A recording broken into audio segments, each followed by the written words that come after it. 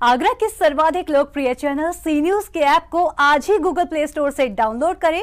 सी News channel के YouTube channel को भी सब्सक्राइब करें। और हाँ बेल आइकन को प्रेस करना ना भूलें। जिला विधिक सेवा प्राधिकरण द्वारा आम जनता को दी जाने वाली विधिक सेवाओं और सरकार की तरफ़ से चलाई जा रही कल्याणकारी योजनाओं के प्रति जागरूक करने के लिए आज़ादी के अमृत महोत्सव पर शहर में प्रभात फेरी निकाली गई। इसमें विभिन्न स्कूल के छात्र छात्राओं ने भाग लिया।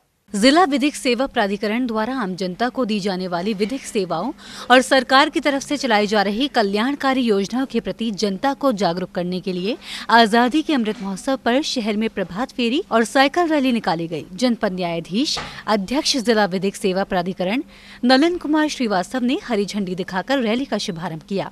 दीवानी से आगरा कॉलेज ग्राउंड तक रैली निकाली गई।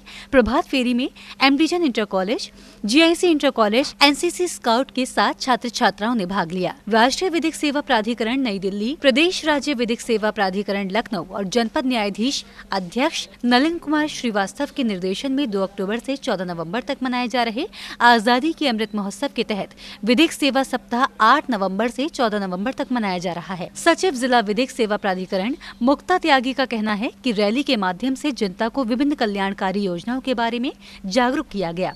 साथ ही छात्र छात्राओं को बाल दिवस का महत्व समझाया गया। इस दौरान न्यायिक अधिकारी कर्मचारियों के साथ छात्र छात्राएँ मौजूद रहे। सी न्यूज़ के लिए उमेश शर्मा की रिपोर्ट।